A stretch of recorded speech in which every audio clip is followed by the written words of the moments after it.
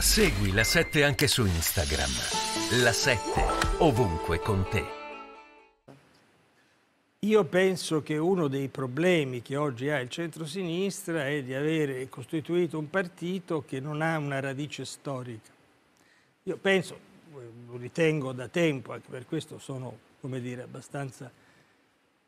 Ma non ne faccio colpa a nessuno, se non in parte anche a me stesso, diciamo, perché ho resistito a lungo per tenere in vita quel trattino tra il centro e la sinistra, attaccato da tutti eh, per questa mia posizione considerata arcaica, superata, eccetera, nostalgica.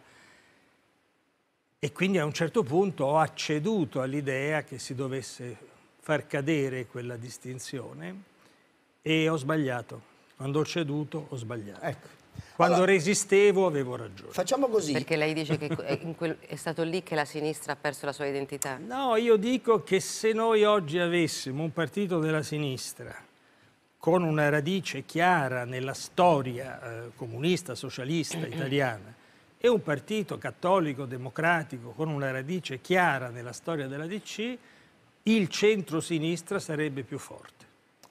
Rispetto al fatto di avere costruito un partito privo di una identità chiara. Poi privo alla fine le, una- le acque si sono separate di nuovo, eh, Eh? perché Renzi, eh, le acque so- hanno finito per separarsi No, di nuovo. le acque, poi ci sono Eh. state infinite separazioni, però diciamo in questo processo di cambiamento si è smarrito il senso di un'identità e di una radice storica e questo è stata una perdita di valore. Cioè quando abbiamo detto che i partiti non dovevano essere ideologici, abbiamo sbagliato. I partiti devono essere ideologici. Eh, bisogna capire oggi